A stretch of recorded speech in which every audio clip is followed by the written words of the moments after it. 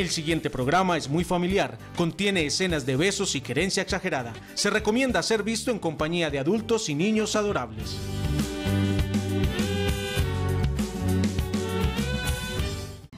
Nos unimos en un arrullo para abrir juntos un camino. Yo te ayudo a empezar el entre dudas, llanto y caídas, entre risas, besos y abrazos, juntos nos gozamos la vida paso a paso, construyendo desde el amor, paso a paso, para hacernos la vida mejor. Paso a paso. Bienvenidos a Paso a Paso, pónganse cómodos, súbale un poquito de volumen al televisor, organice la pantalla del computador donde nos esté mirando porque esto comienza. Hoy vamos a tener un tema muy interesante, como todos los de aquí, todos los temas son interesantes y todos los invitados de todos los programas son especiales, aquí también. Vamos a hablar de ictericia. Ictericia, ¿a usted suena la palabra ictericia? Lo relaciono con la emoción que uno siente cuando se conecta con paso a paso y uno dice, ay, qué emoción tan amarilla. Tan amarilla. Ah, bueno, no, sí, tiene algo que ver, tiene algo que ver. Ya, a mí la primera vez que me mencionaron esa palabra fue cuando nació nuestro segundo hijo y me, me dijeron, ve, e- el niño está con ictericia. Yo creí que ictericia era una señora que a la enfermera pues, en el momento de todo, doña ictericia, iba a preguntar por ella. Y resulta que no. La ictericia es eh, ese cambio que se da en los bebés, o esa situación cuando se ponen amarillos.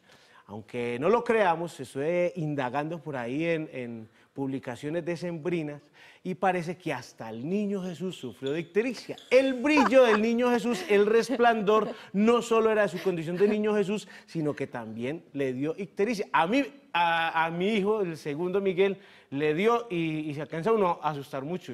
Pues mire, es que el porcentaje de niños con ictericia como que es supremamente elevado, vamos a hablar de estadísticas, de cifras ahora con nuestro experto, pero pues es más común de lo que nos imaginamos. A todos nos dicen o nos decían, Sí. según conversaciones previas con el experto, ay, asolé al niño sin sí, falta, pero pues, ¿por qué no? Cumplíamos con la rutina de asolearlo porque además el ratico era muy chévere, e- ese momento de tenerlo en pelotica, en una toallita, encima de uno, salir al solecito.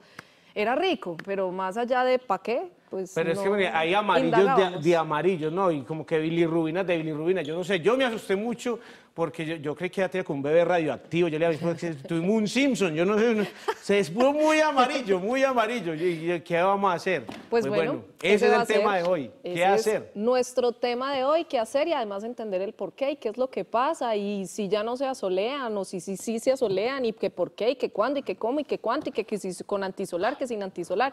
En fin, vamos a despejar todas las dudas porque además tiene mucho que ver el- las semanas de gestación, eh, el tratamiento, bueno, todo, todo lo vamos a aprender hoy en paso a paso. Antes de meternos de lleno en el tema, de introducir aquí todo como es habitual en paso a paso, avisos parroquiales. A ver, a ver. Primero, Primero, hoy es la novena a cargo de Leo y Mónica, aquí en Telemedellín, 5.30 de la tarde, una novena distinta, Todos como todo lo de este programa. Eh, director creativo, traigan maraca y pandereta. Leonardo Jiménez. No, yo lo único que digo es que Mónica va a trobar y va a hacer la novena trobar. Yo no más. Bueno, yo hago lo que usted me diga porque yo me dejo dirigir y el que obedece no se equivoca. Los invitamos, los que quieran venir a acompañarnos a hacer la novena con sus hijos, un texto distinto, una novena distinta, es para ustedes, para los niños, ya pedimos permiso aquí, nos Una consideración más pensada, la consideración que se lee más pensada en un lenguaje para los niños, una especie de cuentico sobre el día de hoy que nos toca, nos corresponde el día séptimo. ¿Qué hay que hacer? Nada, llegar a las 5 y 30, ahí estamos afuera, eh, frente a un pesebre muy bonito que hay a la entrada de Telemedellín, los que quieran llegar. Número dos, eh, mañana pues los esperamos a los que quieran llegar aquí, a acompañarnos, a conocernos, a reconocernos, a despedir, porque será nuestra última emisión de este año.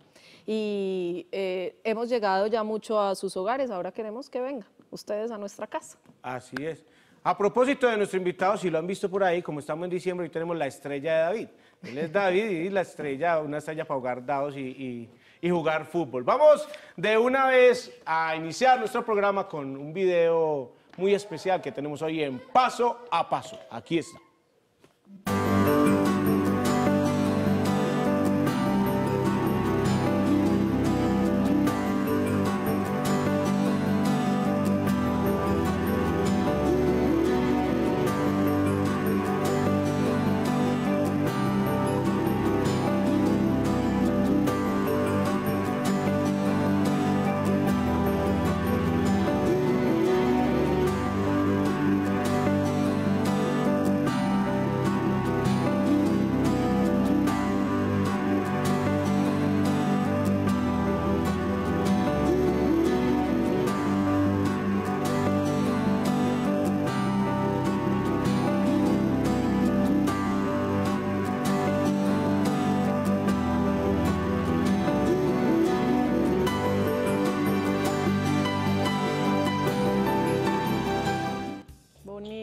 Hermoso. Y póngalo con mamá y papá y funciona igual. Y que sea esta la oportunidad pues para agradecer, para agradecer tantas cosas que, ay, los papás hacen por uno desde que nos ponemos icterísicos. No, y sobre todo cuando uno tiene hijos es que empieza a comprender esos cambios en las edades y esa sabiduría, esos conocimientos y va sintiendo uno también que va aprendiendo y que le va a pasar lo mismo. Eso- esa historia se va repitiendo con los hijos por los siglos de los siglos. Muy Amén. bien, es nuestro penúltimo programa, es momento para dar gracias, para despedir, para seguir aprendiendo, porque nunca es tarde y a propósito de todo lo que acabo de decir, hoy una vida real muy especial, aquí está la vida real.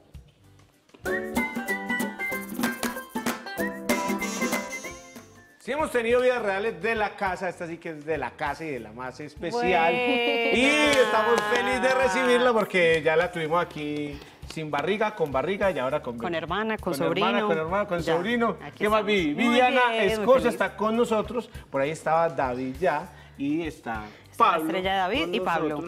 Vivi, para los que no saben, estuvo mucho tiempo hasta que su barrigota se lo permitió coordinando estas emisiones de paso a paso, allá en el máster, metidita, que va el video, que va la vida real, que va las grandecitas, que esto, que por qué no hacemos esto. Ha sido una pieza fundamental de este programa, de este equipo de paso a paso, desde que nos lo empezamos a imaginar. Ahí estaba Vivi aportando con sus ideas y que bueno, a mí me alegró mucho que Vivi se animara a venir, no solo porque tiene todo que ver con la ictericia, sino para que sea el momento de agradecer, de reencontrarnos. No conocíamos a Pablo a propósito de nuestro programa de visitas, ¿cierto? Sí, sí, sí. hemos No habíamos querido ir por eso. Exacto, hemos estado muy al margen, muy pendientes, pero todo desde aquí.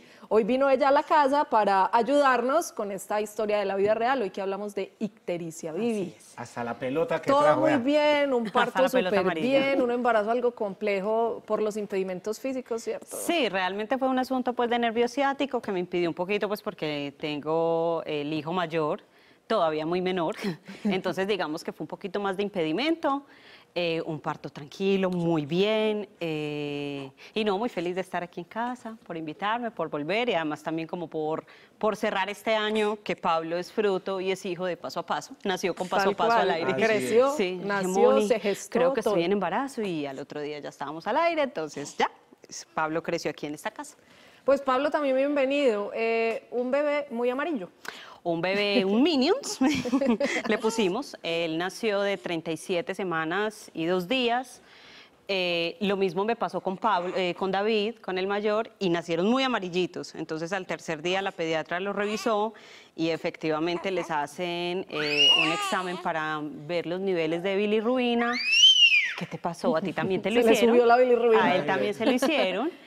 Y efectivamente salió muy alto los niveles, además con un factor que nosotros eh, era distinto y es el tema del grupo sanguíneo. Yo soy O positivo, ellos nacen A positivo, entonces eso también es un factor que... Hay como cierta incompatibilidad, diría uno. hay una incompatibilidad de grupo sanguíneo, entonces ahí eh, fue un factor también. Y él mucho más amarillo porque nació de 37 semanas, David, David nació de 38, entonces él tenía los niveles mucho más elevados, lo que implicó una hospitalización por dos días y en un tratamiento que se llama radioterapia, que era ponerlo en una camarita para, para ayudarle con estos niveles, estuvo por dos días ya sin mayor complicación, además porque una de las mm, tradiciones es ponerlo como al sol Sí, y sí. pues este diciembre no ha sido El más el soleado. más, el más caluroso ni soleado, entonces acudimos a la radioterapia. Pasa mucho, pasa mucho. De ¿Qué, hecho, qué le hacen en la radioterapia? ¿Lo internan? ¿Es todo el día con una luz especial o cómo funciona ese tratamiento? Eh, nosotros llegamos con él en la noche. eh,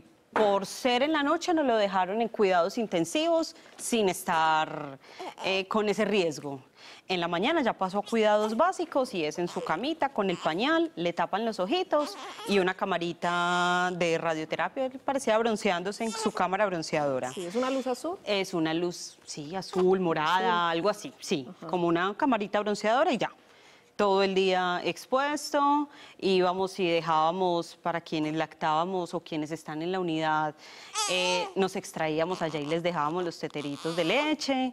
eh, y como, como en la hospitalización permitían solo visitarlo de, 10 de la mañana, 9 de la mañana, 5 de la tarde, entonces dormía ya solito, fue pues la primera vez tan chiquito ya uno desprenderse, ese sí fue Pues lo más veamos las fotos de Pablo en estos momentos, qué fue lo que le hicieron. Ahí está. Ahí está. Su Entonces cámara está- bronceadora, una lámpara.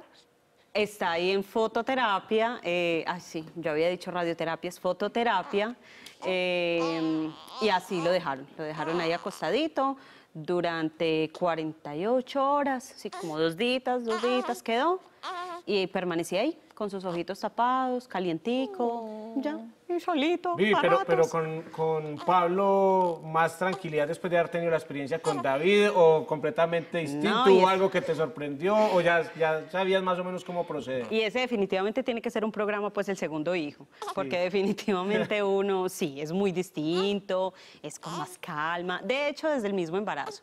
Yo con David me enteré un 24 de diciembre que estaba en embarazo y al 26 pues ya me estaba haciendo una ecografía, a ver si estaba bien, tenía cuatro semanas, pero con él ya uno va con más calma, espera. Uno maneja la ansiedad. Sí, ya controla, ya controla mucho más la ansiedad, el embarazo más tranquilo y con ellos, y de hecho más tranquilos también. Ya sabe uno que si Pero llora igual no una pasa nada. hospitalización es una hospitalización y han de ser o han de haber sido los dos días más eternos. Eh, pero con angustia de riesgo, ¿o qué te explicaron? ¿Qué puede desencadenar? ¿O por qué lo dejaron allá? ¿Por qué no se podía tratar en la casa? El riesgo era, uno, no había sol, me decían pues que debía ponerlo al sol, no había sol. Dos, tenía los niveles muy altos, no había riesgo por ahora, pero eh, era mejor... Era mejor ponerlo en fototerapia para poder nivelar y regular el- el- los niveles que tenía. Luces Lo del otro, estudio le ayudarán. yo creo que le pueden ayudar. Yo creo que le ayudan. Lo otro, intentando hablar ahí. pues, ya, ¿Usted quiere contar su historia? está ¿Usted quiere contar su versión? Sí. Bueno, y lo otro es que pues para mirar efectivamente en qué nivel está, pues le tienen que sacar sangre de la vena, unas venas que no se ven, demasiado chiquitas, entonces eso sí son varios pinchazos que se Eso ganan sí pues como con toda la tres familia, días. sí, sí. Esos yo creo que son como los más dolorosos. Tratamiento después de la fototerapia. Na- ninguno, ya para la casita, vigilar, eh, los ojos todavía permanecían y permanecen pues como por un tiempito eh, más amarillitos y nada más, ya controlar. Él aún a raticos está, pero ya por lo ¿Alguna menos sí bajó. recomendación en términos de alimentación? Pues en este caso la lactancia. No, ninguna, no. Lo que siempre nos recomiendan pues a la mamá, pero no nada especial. Ni nada raro, Eh, pues, de las vecinas, ni de la familia, además de la soleada, que Ni lo bañe crema, con leche ni materna, sí. ni. No, no salieron mitos, eh, no, nada del sol. Eh, por ahora el sol y ya sí digo que la fototerapia pues, nos ayudó bastante con, con los niveles ya. La fototerapia que le espera dar. Toda Sí, punta de fotos y celular. Están en constante vigilancia, pues aún está un poquito amarillo, Ajá. tiene ciertas zonas del cuerpo bastante rozagantes, es normal, que les han dicho, van a control normal. Es muy normal, vamos a control. eh, de hecho, lo tenemos la próxima semana, otra revisión previa, porque habitualmente pues es como cada mes, pero tenemos otra para mirar cómo van los niveles y, y listo. Ya por ahora. Con David sí fue mucho más fácil. David era, se puso menos amarillo y con Solecito tuvo un medicamento, unas goticas también que se le suministran como para ayudar. No sé si es vitamina de- D o C, vitamina D es el sol, algo así. Sí, D. D, entonces es unas goticas De- de, de día. vitamina D De día. De día al sol, de día al sol. Ahí está. Y Uno de grande cuando carece de esa vitamina lo ponen a comer, por ejemplo, cuero de salmón. ¿Cómo? Tiene mucha Cuero de vitamina salmón. D y también le mandan pues solecito, A la pero mamá. Ah, lo que pasa es que este sol ahora qué tan conveniente será. Sí, a los adultos en general, hombres, mujeres. Además, porque dentro de las recomendaciones está sol antes de las 9 de la mañana, antes de las 10 o 9 de la mañana y después de las 4 o 5 de la tarde, porque pues el, Eso del el sol está sol muy arraigado en nuestra cultura y les, les tengo un datico así que pues, no lo va a dar yo, se lo va a dar el experto. Dios Espera, mío. espera, para que bien, vayan pues. bajando de esa nube de sol. A Vivi, a Pablo y a David. De nuevo, gracias por estar con nosotros. Feliz Navidad. Gracias por todo el apoyo de este año. Los televidentes igual sé que están igual de agradecidos porque sin Vivi este programa no hubiera sido este programa. Hay mucho de ella aquí y mucho que agradecer. Eh, que disfrutes de estos chiquis, Vivi, te seguimos acompañando. Un abrazo muy especial y sabes que eres de la familia Paso a Ay, Paso. muchas gracias, un abrazo también para todos, para los televidentes que nos acompañaron tanto tiempo, porque tuve la oportunidad pues, de leer sus mensajes, de contestar sus llamadas, de estar detrás de cámaras en este proceso tan bonito. Y como muchas de las que nos escriben, aprovechando la licencia para ver paso a paso, así también han sido mis días previos al parto y durante la licencia, eh, acompañándonos, que este es el objetivo, creo que este es el manual. Creo que paso a paso se ha convertido ya en el manual. Decimos que los hijos vienen sin manual, pero paso Sí, a paso ahora creo que, y que muchas gracias, ¿no? Están Bueno. hermosos, Pablo y David. Muchas gracias. Prácticamente es ¿Hambre como dos mellicitos, pues, tener dos Tengo hambre, mellicitos. ya tengo hambre. Ah, yo ya quedé con dos mellizos. para la casa otra vez. Yo creo y que a sí. David y a Pablo, muchas gracias. Nos vamos a ir a la pausa. Nos vamos con El dato. Y El ya dato hoy. regresamos. Dice nuestro dato hoy en paso a paso. La mayoría de los recién nacidos tienen algún color amarillento en la piel o ictericia. Esto se llama ictericia fisiológica. Con frecuencia es más notoria cuando el bebé tiene de 2 a 4 días. La mayoría de las veces no causa problemas y desaparece al cabo de dos semanas. Es nuestro dato en paso a paso, ya regresamos.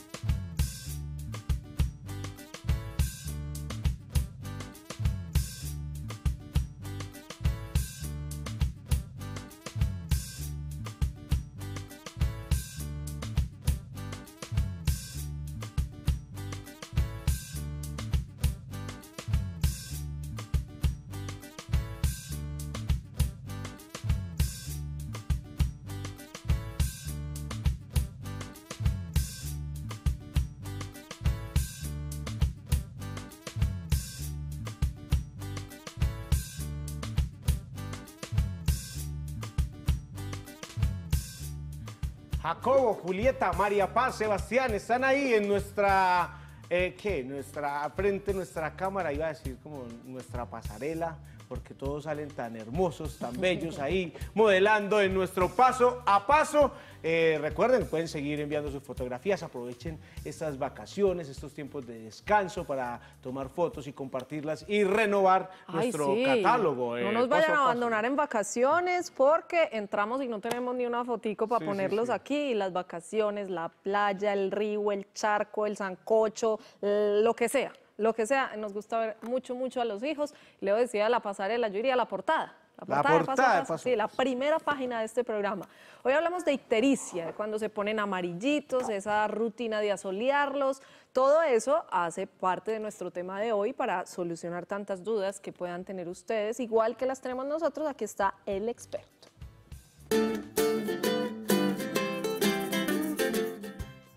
Hoy nos acompaña otro amigo de la casa, Felipe Andrés Palacio, el doctor Felipe, eh, pipediatra, arroba pipediatra, mi conocido. Bienvenido Leonardo. nuevamente. Hola, Un placer Felipe, estar. bienvenido. Pediatra, docente de pediatría de la Facultad de Medicina de la UPB y de la Universidad Cooperativa de Colombia. A mí me da una emoción ver la emoción con la que Pipediatra viene a este programa, que pues definitivamente uno se contagia y de antemano hoy programa para agradecer, mil gracias por estar tan pendiente, tan dispuesto siempre a asistir y a apoyar como a los televidentes y a este programa, digamos, como en todos los temas que requieren de la experticia y de la experiencia. Muchas gracias a ustedes por invitarme. Mañana voy a estar en, la, Sí, en el último programa. Me ha gustado mucho acompañarlos durante este año y espero que en el 2017 también sea así. Invitado a la novena también para que haga la, la oración al niño Jesús. Yo- que yo voy disque a trobar. Muy bien, vamos a arrancar con este tema, doctor, que es la ictericia. La ictericia neonatal es el color amarillo en los bebés. Es ocasionada por aumento en una sustancia en la sangre que se llama bilirrubina. La bilirrubina es producida eh, por la disolución, digámoslo así, de, una, de, la hemoglobina en los glóbulos rojos. Los glóbulos rojos tienen una vida, se mueren eh, cada ciertos días y sueltan ese pigmento.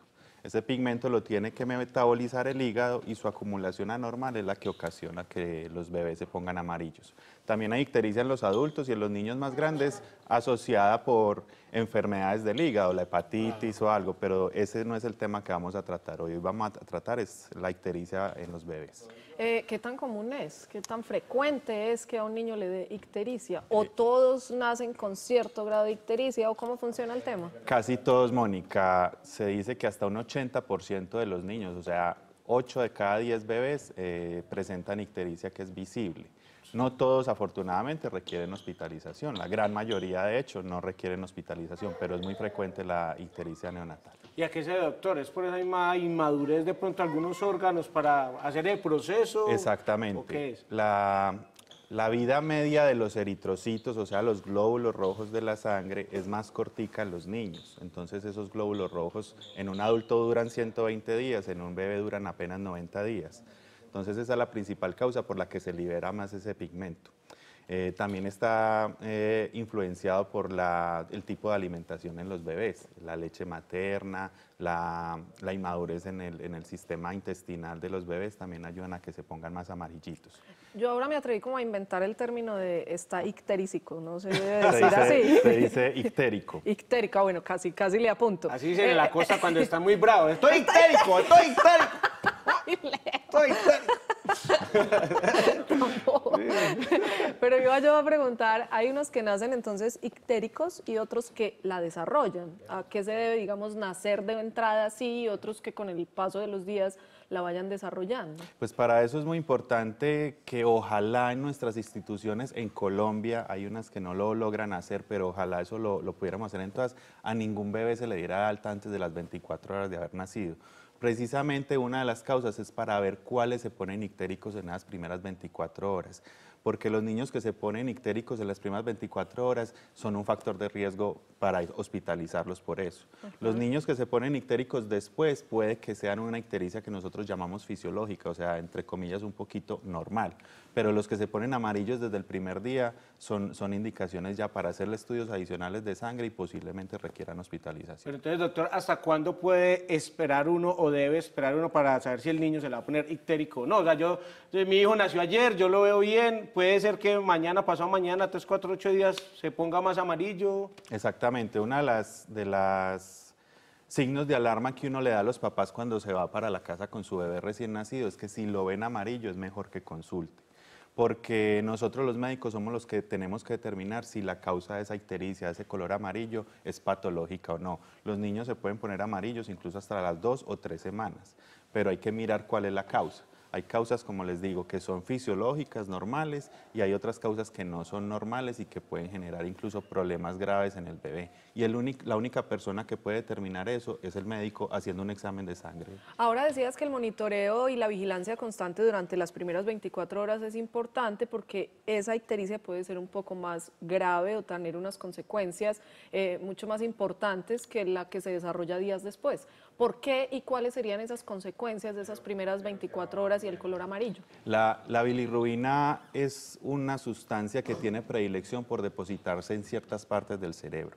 Cuando nos descuidamos, no, esos niños no van al médico por X o Y razón y la bilirrubina empieza a subir a niveles peligrosos, eh, se deposita en el cerebro, sobre todo en las zonas en que tienen que ver con la audición. Los niños pueden quedar sordos, pueden quedar con retardo mental, pueden quedar con parálisis cerebral. O sea, es una enfermedad que se puede volver en una patología que nosotros le decimos kernicterus, que es una encefalopatía por, por, el aumento de las bilirrubinas, que puede ser grave y es desastrosa. O sea, una situación que es relativamente fácil, controlable, fácilmente manejable con la fototerapia, se puede convertir en una discapacidad para el resto de la ¿Y vida. por qué es menos complicada si sucede dos días después o tres días después? Porque por lo general tiene que ver más con la lactancia materna, por la falta de lactancia materna y el hecho de que se presente tan temprano puede indicar que la sangre del bebé se esté autoatacando a sí misma. Eso lo- nosotros le decimos hemólisis.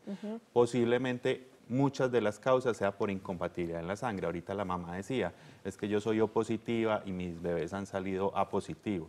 Esas mamás tienen más riesgo. Las mamás que sean de tipo sanguíneo O o cero o las que sean eh, RH negativo tienen más, más riesgo de que sus bebés sean ictéricos que las O sea, que es un motivo como para estar más alertas. Sí, ¿Qué tipos de sangre? Repitamos. Las que sean O, Sí. cualquier tipo de sangre O y que los bebés sean A o B o AB, que también es otro tipo de sangre, o las mamás que sean RH negativas. De hecho, a las mamás que son RH negativas, después de cada parto o aborto, si hay alguna causa de aborto, se les debe poner una vacuna que se llama Resuman, para precisamente evitar que en el próximo embarazo, si hay alguno, eh, se produzca esa Y esa vale la pena como, como padres sembrar esa alerta o recordar más bien esa alerta entre el equipo médico. Mire, Claro. este es mi tipo de sangre para que por favor estén sí. atentos. Sí. Exactamente, eso hay que, que tenerlo muy en cuenta, hace parte de lo que en los controles prenatales se debe estar eh, presente para poder evitar cualquier complicación acerca de eso.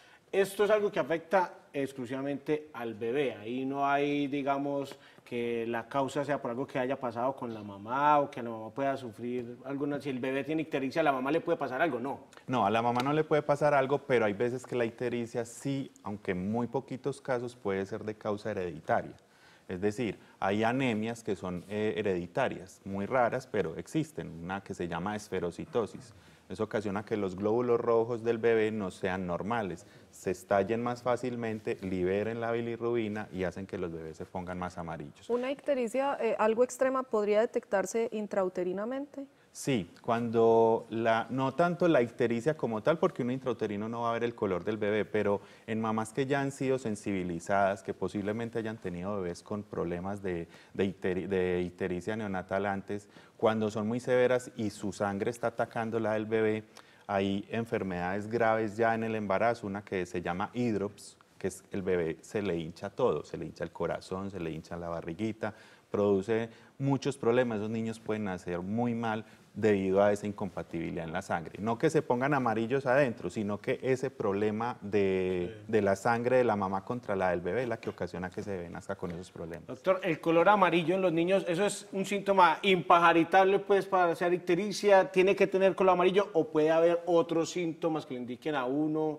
Yo leía, por ejemplo, que cuando los ojos son muy blancos, no sé, No. pues eso es adicional, o el color amarillo es, es clave ahí. Si nosotros vemos a nuestro bebé y nos parece que está amarillo, debemos consultar al médico. Hay otros signos que podemos mirar que asociados a ese color amarillo son signos de alarma. Por ejemplo, que la orina sea muy oscura, o sea, un bebé con una orina muy oscura y además con el popó que sea de color blanco o demasiado pálido, es un signo de alarma por un- para un problema hepático importante que es muy poco frecuente, pero que si no se hace un tratamiento en los primeros tres meses, ese niño puede terminar con un daño hepático severo para toda la vida y posiblemente lo que necesite sea un trasplante hepático en un futuro. O sea, son cosas graves que son poco frecuentes afortunadamente, pero si no nos damos cuenta a tiempo, podemos eh, tener bebés con muchos problemas. Entonces, ojo con esos bebés que son muy amarillos y la orina es muy oscura y el popó es muy clarito.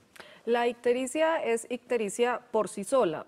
Mm, Me, me explico. La fiebre anticipa que a- algo no funciona bien. La ictericia es ya, es la ictericia o puede anticipar que algo va a ocurrir. La ictericia muchas veces la causa no solamente es por la incompatibilidad de sangre. Va a haber mamás que de pronto me pregunten, ve, pero es que yo soy O positiva, mi bebé también es O positivo y por qué se puso amarillo. Hay bebés que se ponen amarillos por otras causas. Una de las causas principales eh, de esas ictericias es, por ejemplo, la sepsis neonatal, o sea, una infección en el bebé. Eh, la ictericia puede ser una señal de que algo está funcionando mal en el organismo y una de las principales causas de esa ictericia es que el bebé va a tener una infección. Antes de que haga fiebre, solamente lo ven un poquito amarillo y como decaído, lo llevan donde el médico. Por eso uno de los mensajes es que siempre que lo dan amarillo es mejor llevarlo donde el médico para que el médico estudie porque pueden ser otras cosas. Y si es una infección, tratándole la infección, se le va, a pasar la ictericia. En ese caso no sería lo más importante tratar la ictericia, sería tratar la infección que es mucho más grave. Eh, Vivi hablaba ahorita de unas goticas que acompañan la fototerapia y el tratamiento pues que en casos extremos se hacen. El, el tratamiento farmacológico de la ictericia es, es más bien poco, o sea, solamente hay una medicación que se usa intravenosa para aquellos niños que en unos exámenes de sangre nos damos cuenta que están sensibilizados. Es un examen que se les hace y que se llama CUMS, CUMS directo. Cuando eso da positivo, por lo general los médicos ponemos es un medicamento que se llama gamma globulina y lo ponemos en el bebé para ayudar a que esa sangre de- del bebé no se siga autoatacando y se pueda eliminar más fácil el tóxico. Las goticas de vitamina D hacen más, eh, más partes como el tratamiento nutricional de los bebés, pero, pero no, es, no sirve pues como, como tal para la ictericia. Y, no, y sí. a propósito, digamos, de ese examen, la ictericia se detecta a simple vista por el color amarillo. Ella hablaba ahora de un montón de, de pinchacitos y de coger las venas. ¿Qué más hay que hacer? ¿Qué exámenes especializados como para decir sí es ictericia y el color amarillo no es otra causa? Muy bien, o sea, los bebés se, con- se ponen amarillos principalmente de la cabeza hacia los pies. de pie- eh, entonces empiezan a ponerse amarillitos en la carita, eso es una ictericia grado 1, le decimos nosotros. Por lo general, eso se correlaciona con niveles muy bajitos de bilirrubina, no es tan grave. Pero cuando empieza más abajo del ombligo, llega hasta las palmas de los pies, de las manos, ya es una ictericia que es importante. Eh, ahí se debe consultar. ¿Qué hace el médico cuando encuentra un bebé ictérico? Le hace básicamente unos exámenes de sangre. Dependiendo si la- el tipo de la sangre de la mamá es diferente a lo del bebé, son exámenes de pronto más amplios, pero básicamente le toman los niveles de bilirrubina. Es una bilirrubina que se llama bilirrubina total, directa e in- indirecta. Le toman un hemoleucograma, que es para mirar si tiene anemia o no. Le toman el CUMS, le toman la albúmina, que es la proteína que transporta la bilirrubina en la sangre, eh, y le toman un extendido de sangre periférica para mirar a ver si de pronto ese bebé es uno de esos bebés que tienen ese tipo de anemias raras, que tienen los glóbulos rojos de unas formas distintas que hacen susceptible que el bebé sea, eh, se ponga ictérico más fácilmente. Entre todo lo que le toman, si lo de tomar el sol funciona o no funciona, es, es cuento, hace parte más de- del mito social, como el cuento. Es- yo pienso que este es de los mensajes más importantes y más difíciles de dar en este programa. A ver, pues. ¿Por qué? Porque antes los pediatras, los médicos recomendábamos el sol, pero hace de un tiempo para acá, no, no hace mucho, recientemente, se dice que a ningún bebé antes de los seis meses se debe asolear.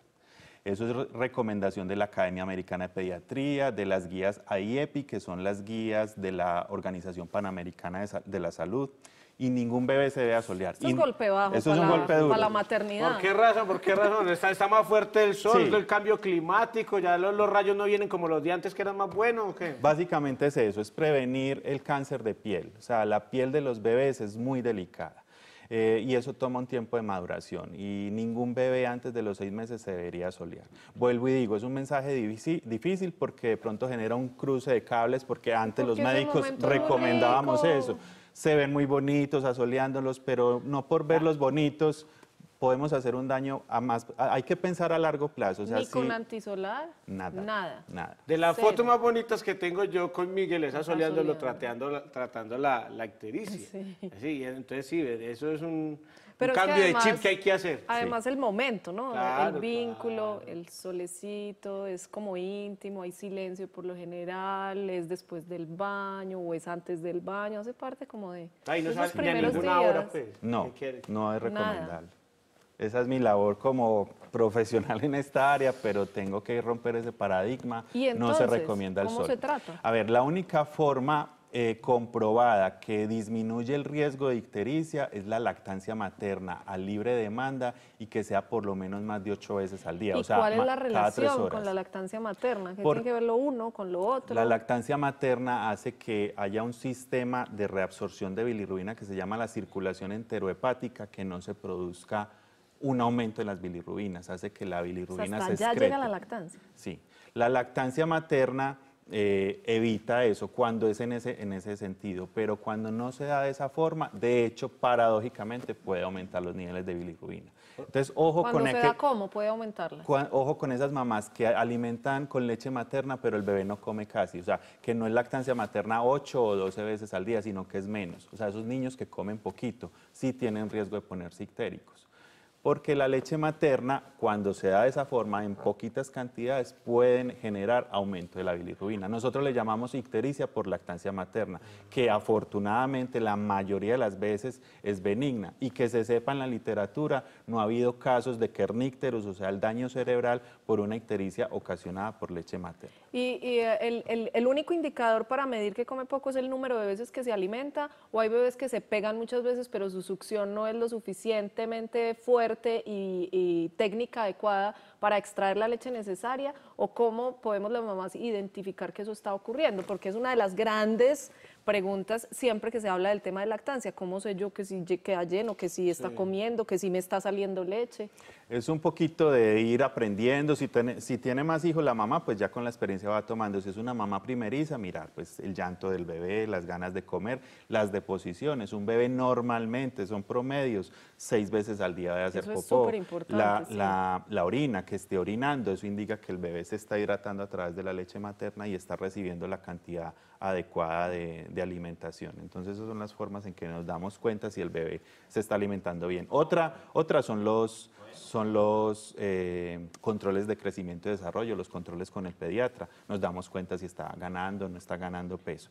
Esa revisión a los tres días de todos los bebés recién nacidos es muy importante. Una de las causas para revisarlos a los tres días es esa, para ver si de pronto se están poniendo amarillos. A veces esas revisiones las estamos dejando para muy tarde, una semana, dos semanas después de haber nacido y dos semanas sin que un bebé lo vea un médico, un bebé recién nacido, me parece que es tiempo. demasiado tiempo porque no solamente para revisar físicamente al bebé, sino para, para aclararle todas las dudas a unos papás que de pronto están angustiados, cuál es el manejo del ombligo, cuál es el manejo No, de claro, y es que el bebé no habla. cosas. Y entonces no puede decir No, cómo se está sintiendo y uno es adivinando un montón de cosas que ni idea. Y queda ahora pues. uno con, con lo, del, lo del baño del sol, que no es lo recomendable. Entonces, ¿cuál es el tratamiento? ¿Solo la fototerapia? ¿Uno puede hacer algo en la casa? Poner una lámpara, un ratico en el microondas, no sé, una vueltica en un asadero de pollos, que así uno puede en la casa. Bueno, entonces llevamos a nuestro bebé que está histérico. Listo, lo llaman del médico, le hacen un examen de sangre y si el médico determina con el nivel de bilirrubina, nosotros los médicos ¿qué hacemos? Miramos, tiene tanto bilirrubina, lo comparamos con las horas de nacido o los días de nacido del bebé y lo llevamos a unas tablas. Las tablas nos dicen, este bebé es para ponerlo en fototerapia o es para mandarlo para la casa. Si da para fototerapia hay que hospitalizarlo, ¿sí? No hay nada que hacer, se deja hospitalizado, se pone en una cunita con una luz azul como la que vimos en el video ahora. Es una luz que se debe mantener ahí a toda hora, la mamá solo lo debe sacar de ahí para alimentarlo. Pero entre más tiempo se haga la fototerapia, debe ser eh, mejor. Sin solamente en pañal, para que esté, se le cubren los ojos y los genitales para proteger esas áreas. Por eso la mamá ahorita decía, es que los ojos todavía están amarillitos, lo que pasa es que se les pone unas gafas para que no les dañen la retina la fototerapia. La fototerapia, ¿por qué funciona y el sol no? No es que el sol no funcione, lo que pasa es que la luz solar tiene todas las longitudes de onda, tiene todos los rayos, los ultravioleta, los buenos y los malos. Cambio, la, la fototerapia tiene solamente los rayos específicos que nos ayudan a que la bilirrubina cambie como su composición química y el cuerpo del bebé ya sí sea capaz de excretarla y no ocasione daños. Esa es la forma como funciona la, la fototerapia, cambiando la composición química de la bilirru- bilirrubina para que el bebé la pueda excretar. Cada cierto tiempo, cada 8 horas, cada 12 horas, dependiendo del nivel inicial de bilirrubina, se le hace otro examen de sangre para ver cómo va respondiendo la fototerapia. Miramos esos niveles de sangre de bilirrubina y cuando vemos en, esos, en esas tablas, vemos ya no necesita fototerapia, en ese momento se le da de alta al bebé. Y la posibilidad de que esa bilirrubina vuelva a subir en la mayoría de los bebés es muy remota. Uno da el alta del bebé con el signo de alarma. Bueno, si ve que se le está volviendo a poner muy amarillo, tráigalo. Pero también hay que quitarle como un poquito el estrés a los papás. Eh, se los llevan para la casa y bueno, voy, voy a hacerle otro examen de sangre mañana para ver si todavía tienen la bilirrubina y, en- y dentro de dos días y dentro de tres días. Y no, evitémosle todos esos chuzones a los niños. Más bien los llaman del médico. Si el médico determina que está para hacerle otro chuzón para mirar el nivel de bilirrubina, lo hacemos. Pero también desestresarnos un poquitico. Ahorita Pablo vino, está un poquito ictérico, pero es una ictericia normal para un bebé que tiene aproximadamente 20 Póngale la pijamita que le combine con el amarillito mientras tanto, mientras le pasa, que, que le va bien. Igual. Hoy hablamos de ictericia. 80% de los bebés sufren de esto, es decir, 8 de cada 10. Es algo muy frecuente. No es para alarmarse extremadamente, estrepitosamente, pero sí es de cuidado y por eso hemos traído nuestro tema hoy a paso a paso. Vamos a una pausa con grandes citas pequeñitas, pero ya volvemos. Esta de hoy me encantó. Dijo Alejandro, mami, mami, que es una sábana. Amor, una sábana es la ropa que le ponemos a la cama. Ah, ¿y dónde están la jirafa y los leones? Esa es una sabana, Alejandro. Esto lo dijo Alejandro de tres años, divina. ya volvemos.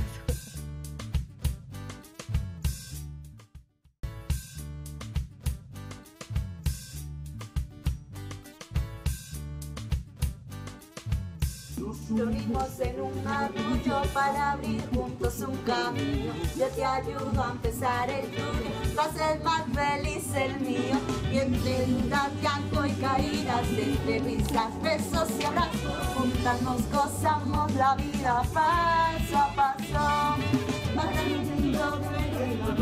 Paso a paso, para hacernos la vida mejor, paso a paso. Empezando buen camino. Aplausos María y la, mamá que tomó el trabajo de hacer el karaoke y todo para mandar el video. Excelente, excelente. El teleprompter, a nosotros le decimos aquí el teleprompter. Muy, muy bien. Esa es la creatividad de la que yo les hablaba. Que muchas mamás querían participar. Ay, pero es que mi bebé no habla. Búsquese la manera. Muy bien, muy bien. no habla, pues le letreros, Y vea, muchas ahí está. gracias. Retomamos el tema de ictericia. Además, fue una de las ganadoras. Todo el derecho fue al azar, Qué pero bueno. mire, a veces la suerte premia. Eh, retomamos el tema de la ictericia. Ahora estabas hablando de tipos de bilirrubina. Eh, ¿Hay tipos de ictericia? ¿Tienen nombres diferentes dependiendo del grado o es lo mismo? Pues está la ictericia fisiológica, que es la normal, la, la patológica, que la, es la anormal, y la ocasionada por Por leche, leche materna. materna. Básicamente son como las tres tipos de ictericia a nivel pues neonatal, es decir, en los niños menores de un mes. ¿Hay casos donde estos tratamientos de los que hemos hablado no funcionen? No es que no funcionen, sino que de pronto la ictericia es tan severa y los niveles de bilirrubina son tan altos que requieren otros tratamientos. Hay un tratamiento que a veces es necesario, afortunadamente no en la mayoría de los casos, que se llama la exsanguinotransfusión. Exsanguinotransfusión. Sí. Y que no, no es lo que me estoy imaginando, sí, hay que cambiar como todos los líquidos, sangre y todos los Sí, niños. Se, se ve que la sangre del bebé está tan alterada en ese sentido que está haciendo tanta hemólisis, es decir, se están destruyendo tantos glóbulos rojos que lo que hay que hacer es cambiarle prácticamente, entre comillas, como para que me entienda el público, la sangre del bebé. Una transfusión normal es ponerle usted como el 5% de, de la sangre que usted tiene. Una exsanguinotransfusión cambia hasta el 87% el volumen total de la sangre. Es prácticamente, eh, se puede también llamar así, una una- un trasplante de sangre. Usted, el bebé, obviamente para hacer ese procedimiento tiene que estar en cuidado intensivo, hay que ponerle unos catéteres centrales, es decir, unos catéteres que vayan a una vena y una arteria. El médico lo que hace es que saca 10 centímetros de la sangre del bebé, la bota, pone 10 centímetros de un donante y, es un procedimiento que dura aproximadamente una hora y media, tiene riesgos. que- Este, es- este caso no entra dentro del 80%. Ese no, sí es mucho. es muy, poquito contado los casos, afortunadamente. Sí, afortunadamente. Eh, los que no pediatras, pues yo en mi labor como pediatra, que ya cumplo este año 10 años de ser pediatra, he hecho cuatro o cinco exsanguinotransfusiones en, en mi labor. O sea, afortunadamente no es algo frecuente, pero, pero los pediatras tenemos que estar preparados para hacerla y hay que hacerla cuando. Hemos cuando hablado de algunas de las causas de la ictericia, como puede ser eh, la inco- incompatibilidad de la sangre, eh, la mala alimentación o poco consumo pues, de, de leche materna o en su defecto de fórmula, asumo yo. Eh, ¿Hay algún otro factor? No sé, bebés prematuros, algo tocamos de la hereditario, que son a veces muy contados los casos, bebés prematuros tal vez. A los prematuros son más predispuestos a que les dé ictericia y, y los niveles de bilirrubina en ellos nosotros no podemos ser tan laxos. Es decir, un nivel de bilirrubina que para un bebé a término, o sea, nacido de tiempo, es normal, para un prematuro ya sí puede ser criterio de hospitalización. Entonces los niveles de bilirrubina en los prematuros tenemos que ser más Pero entonces más a menor, sema- a menor número de semanas de gestación, más alta la bilirrubina. Decía Vivi ahora que en su caso tuvo que ver, eh, digamos, la intensidad de un hijo y el otro, porque uno nació de 37, el otro de 38, y eso tuvo mucha influencia en que tener. uno requiriera hospitalización y el otro no. puede tener influencia. Los factores de riesgo son niños menores de 38 semanas, niños que presenten asfixia al nacer, es decir, que hayan nacido con problemas de oxigenación en el momento de nacer, niños que hayan tenido un hermanito que ya se hospitaliza- eh, hospitalizó por ictericia eh, y niños con alguna deficiencia hereditaria. Esos son niños que tienen mayor factor de riesgo para ser eh, ictéricos que otros. Doctor, ¿hay alguna posibilidad, perdón, de que al, al niño le aparezca la ictericia, no sé, le dio hoy, estuvo tres, cuatro meses bien, le volvió a aparecer y al otro tiempo va a aparecer? ¿Ya eso implicaría otro tipo de problema hepático, no sé? Sí, Leonardo. ¿Se puede dar? Sí, se puede dar raro, pero son niños que lo más seguro es que tengan un problema hepático, una enfermedad genética, hereditaria, hay una que se llama Klinger-Najar, otras pues que son mucho más raras, o puede ser una enfermedad infecciosa como una hepatitis, o problemas, infecciones congénitas como un citomegalovirus. Son cosas más raras, pero, pero la ictericia es una causa por la cual debemos consultar siempre al médico, sea un bebé, sea un niño más grande o sea un adulto. Eso no da fiebre ni nada. Cuando es por causas infecciosas agudas, sí. O sea, una hepatitis da mucha fiebre y la persona se pone amarilla. Pero la ictericia por sí sola, sol- solamente No, no da ay, fiebre. está amarillo y ya. Exactamente. Uno no, no hay como ningún otro síntoma visible, ni, ni yo, qué sé yo, eh, sudor, No, no, cualquier no. cosa. La, la ictericia es, es única, a menos la- lo que yo dije ahorita, si es una ictericia asociada con, con deposiciones que sean blancas y orina muy oscura, eso indica que hay un problema en las vías biliares y es, una, es un problema quirúrgico en los recién nacidos. Bueno, digamos que este tema de la ictericia es bastante frecuente, como ya hemos visto. Las mamás, yo creo que a todas eh, eh, nos ha pasado y les hemos visto algún color amarillo al bebé, por mínimo que sea, así no haya sido motivo ni de preocupación, ni de alarma y no sé qué. Pero entonces la pregunta del millón, y para bajarle un poco a la bilirrubina de quienes nos ven a esta hora eh, y se estarán preguntando, ay, ¿será que sí? ¿Será que no? ¿Cuál es como el momento para acudir realmente al médico sin alarmarse, sin colapsar las urgencias, sin, sin quitarle, digamos, el puesto a alguien que de verdad lo necesite, sino, y como mamás también, eh, no, no es motivo de preocupación, todavía puedo esperar, puedo hacer algo en la casa, o, o ya tengo que ir al médico. Si vemos al bebé que está amarillo en la totalidad de su cuerpo, hay que consultar inmediatamente, no importa la hora, eso hay que hacerlo. Eh, si, si el bebé está un poquito amarillo y tenemos la cita de revisión a los tres días de haber nacido el bebé, podemos esperar. Si hay un antecedente de un hermanito que ya sufrió ictericia, es mejor consultar también inmediatamente porque puede ser, puede ser grave. Si tenemos el antecedente de incompatibilidad en la sangre, también es mejor consultar. A ver, los bebés son, son pacientes que en los servicios de urgencias tienen prioridad. O sea, eh, los servicios de urgencias en este país no están colapsados por bebés, están colapsados por otros motivos. Por gripas. Por gripas o porque... O por no- adultos que creen bebés y van por cualquier cosa que lo atienden ahí. o porque por- no conseguí la cita con el especialista, entonces me voy para urgencias para que me atiendan más rápido. No, pero los bebés en urgencias sí tienen prioridad. Entonces no podemos eh, O tener sea, pues, restricciones casos, para ir a Sí urgencias. vale la pena bebé. pecar por más Sí, que por menos. es mejor, Sí, es sí, mejor. sí. Ahí está ese color amarillo que saca de cuenta el del semáforo, estar alerta, para arrancar o para frenar. ¿Por qué? Porque eso está indicando una necesidad, una necesidad del bebé en este caso, como muchas otras necesidades que pueden expresar nuestros hijos y de eso nos va a hablar Caro Hernández, la que ama ser mamá, en nuestro Mami Fiesto de Paso a Paso.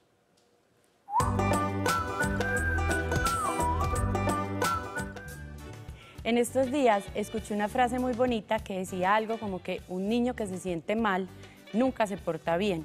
Y pensé que con los niños nos pasa que nos concentramos en el síntoma, en el comportamiento o en la conducta que queremos cambiar. Y no pensamos en la enfermedad, en sus causas, que son finalmente las creencias o las necesidades que el niño tiene y lo llevan a portarse como se porta. Entonces te invitamos a que te fijes más en qué necesita tu hijo para portarse como se está portando, qué te está diciendo, qué mensaje te está dando. Y así no vamos a reaccionar de manera impulsiva, sino que lo vamos a acompañar desde el amor.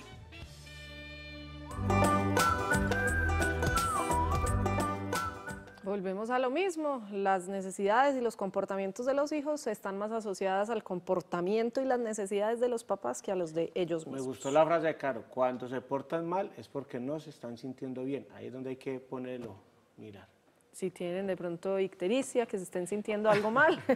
Eh, eh, ¿Esto les causa malestar o simplemente es un color amarillo? No, No, eh, generalmente, a menos que nada. tengan unos niveles de bilirrubina muy elevados que ya estén ocasionando daño cerebral, pues el niño empieza a tener cambios como irritabilidad, inicialmente empiezan a presentar hipotonía, o sea que como muy, muy desmadejaditos, digámoslo así. Cuando ya es más severo, ya empiezan es todo lo contrario, hipertonía, empiezan a estirar el cuello hacia atrás. Son problemas que quisiéramos que nunca existieran. De hecho, la encefalopatía por ictericia o el kernícterus debería ser una enfermedad que ya no debería existir en este mundo. Doctora, ah, perdón, ¿hay descartado lo, del- lo del tema del sol? ¿Hay alguna recomendación en cuanto a la vestimenta del niño? ¿Es mejor tenerlo más abrigado, más cubierto? O por el contrario, así está en la casa adentro, Ni mucho ni poco. tenerlo No, descubierto? no, nada, con Nada. la ictericia no, no sé, pues no hay ninguna relación con la, con la, con la vestimenta. Hay algo que me gustaría hablar, hay, ya la tecnología ha ido ayudando. Hay una forma de tamizaje de los bebés cuando nacen a ver si están ictéricos o no. En algunas instituciones las hay, es un aparato que en este momento todavía es costoso, pues se llama un bilirrubinómetro. Es un aparato que no hay que chuzar al niño, Billy Willy Wilómetro. es un aparato que... ¿Es ese, es ese? ¿O ¿Cómo es que se llama? Bilirrubinómetro. Eh, Esta Billy noche vendrá un bilinubirómetro. Ah, en el Billy nariz Rubinómetro. oreja. Billy Rubinómetro, ya lo dije, ya.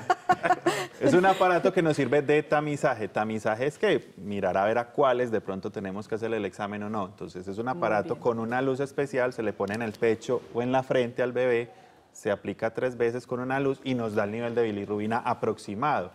Con eso hacemos un tamizaje y sabemos a cuál bebé de pronto hay que sangrar o no. En algunas instituciones los hay, en otras no, pero es la tecnología que ha ido avanzando, evitando la, la molestia en los papás y, en- y obviamente en el mismo bebé de tener que estarlo chuzando. Doctora, manera de práctica, ya que se nos acaba el programa, como el ABC de signos de alarma. Si esto, qué hay que hacer, a dónde, cuándo, cómo y por qué. Bueno, entonces lo primero, todo bebé ictérico que nos parezca que está muy amarillo, debemos asistir. Dar lactancia materna a libre demanda por lo menos ocho veces al día es lo principal. Si el bebé está con fiebre o está decaído, Ocho veces al día incluye la noche, ¿cierto? Sí, sí. Si el bebé está con fiebre o está decaído eh, y además está ictérico, llévalo a urgencias porque puede ser una infección neonatal. Si hace popó muy blanco o la orina es muy oscura asociada a ictericia, también es un signo de alarma por la cual debemos asistir.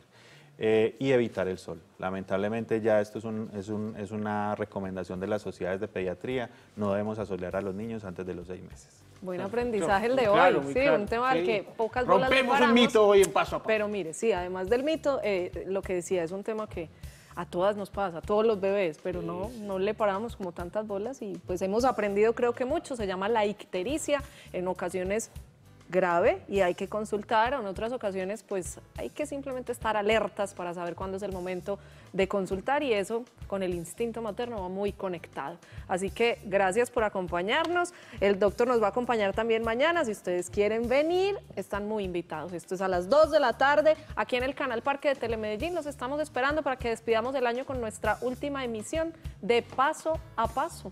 Chao. Nos vemos, chao. Un baño de...